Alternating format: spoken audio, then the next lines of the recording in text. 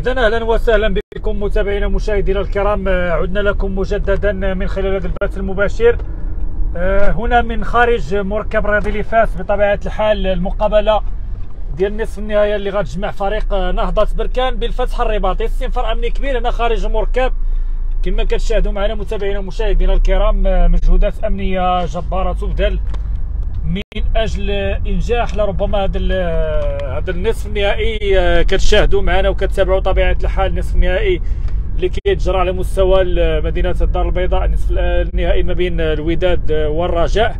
والآن على مستوى مدينة فاس استنفار أمني كبير ومجهودات أمنية تبذل خارج المركب كنشوفوا الجماهير بطبيعة الحال آه، ديال البركان والجماهير ديال ديال الرباط فتح الرباطي كتوافد في الأثناء وكتشوفوا مجهودات جباره واستنفار أمني كبير. إذا متابعينا الكرام كنقول لكم الأجواء. خارج المركب الرياضي لفاس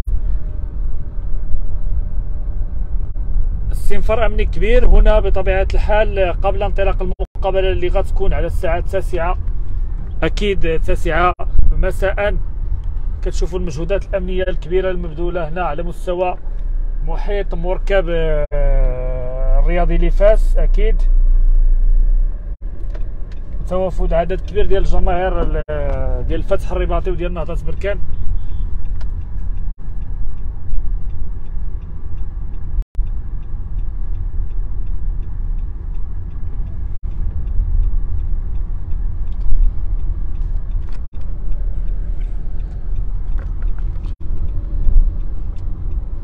هذه الأجواء متابعينا الكرام كنحاولوا نقربكم بالصوت والصورة أكيد على المباشر من خارج المركب اللي فاس من المحيط ديال الملعب. كتشوفوا معنا الحالة ديال الاستنفار الكبيرة اللي كاينة. أكيد غنضربوا ال demi-tour من اللي ونرجعوا. ما كاينش عدد كبير ديال الجماهير. جماهير قليلة اللي أتت آه، من أجل متابعة آه، مقابله النصف النهائي ما بين نهضة بركان والفتح الرياضي. غتكون المقابلة غتطرق على الساعة التاسعة آه، ساعة من الآن. بطبيعة الحال شفتوا العدد ديال الجماهير اللي هو قليل مقارنة بالعدد ديال الجماهير الكبير اللي كان على مستوى الدار البيضاء ما بين الوداد والرجاء شفنا يعني عدد كبير بكل صدق الملعب ممنوع على الاخره هنا في مدينة فاس على حكم بحكم على أن المقابلة كت يعني كتجرى يعني ما بين فريقين ما بين الرباط وبركان. أكيد تم تقرير أنها تكون على مستوى مدينة فاس آه، الجماهير الفاسية اللي كتابع المقابلة اللي مشات للمركب جماهير آه، يعني قليلة. آه، شفنا بعض الجماهير ديال هنا على مستوى المحيط. أنتم كتشوفوا معنا متابعينا الكرام. نحاولوا نديروا جولة في محيط المركب أكيد. شفنا جماهير قليلة ديال نهضة بركان وجماهير قليلة كذلك ديال فتح الرباطي. في انتظار لأن ربما يكون يقدروا يكونوا دخلوا بكريه نشوفوا المهم غنبقاو معكم. تشوفوا كل كبيرة وصغيرة. واصلكم الصورة والصوت مزيان. عطوني الإشارة.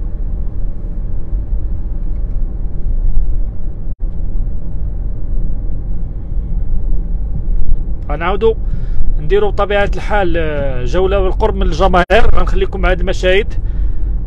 إذا المحيط ديال المركب كنحاول آه، كل صغيرة وكبيرة نكون معكم فيها متابعينا الكرام. تشوفوا الاجواء كيفاش دايرة خارج المركب الرياضي اللي فاس. العدد ديال الجماهير اللي جاو يتابعوا هذا النصف النهائي بطبيعة الحال ما بين الفتح الرباطي ونهضة بركان.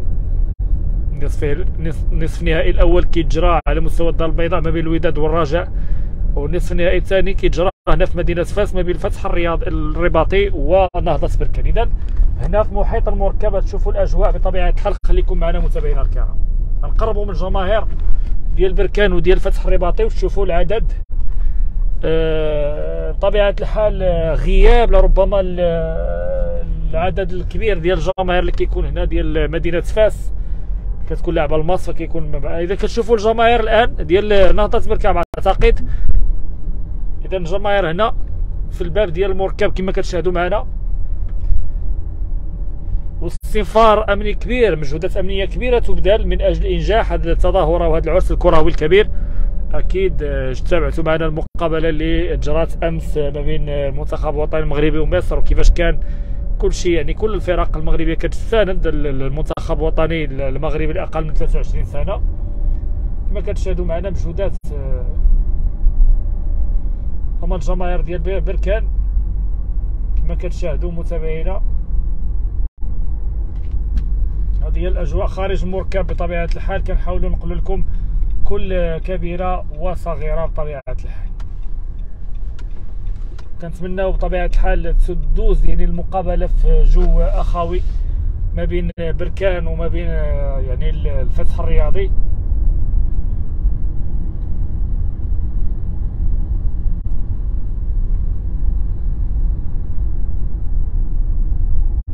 إذن مجهودات أمنية كبيرة تبذل قبل انطلاق المقابلة على الساعة التاسعة.